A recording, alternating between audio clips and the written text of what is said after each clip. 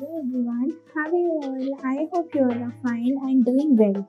I welcome you to an interesting video. Let's see what are we going to make here. You have to make a beard like this and then the hand on the top of this. Now this, yes, you have guessed it right. We have made a Santa Claus. You have to make the belt around and then the jacket. Further here you have to make uh, the dress as well and make this cute little Santa in this manner. Then you have to color it in this way and make it magical and beautiful. Proceeding in this manner, let's see what are we up to. You have to make the mask like this and then just cover it up in this manner. This is gonna look absolutely amazing. You have to just make this Spider-Man like this and then do it in this manner. This is gonna steal it and then you have to create this Spider-Man in this manner. Make the webs all around and this is gonna look amazing.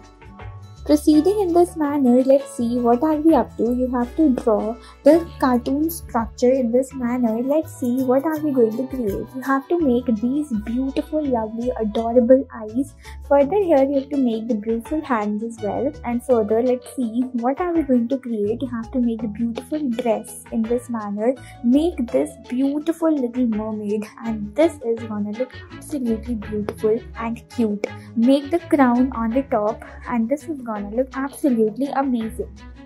Proceeding in this manner, let's see what are we going to create here. You have to get the eyebrows made and then this man. Further, let's have a look. What are we going to create? You have to make the tie as well and then make the hands around in this manner. Make the dress and this gentleman is gonna look amazing and handsome.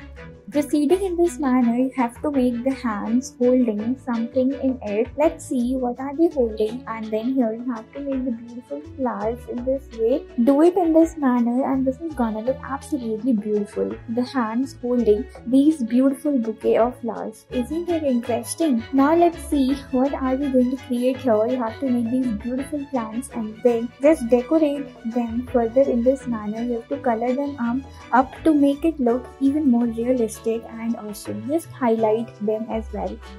Here you have to get some imprints like this using your hands. And now let's see you have to create this dog. And then make it look like this the mouth part as well. And then just make the patterns around to make it look hairy cute right now here what are we going to create? Let's have a look.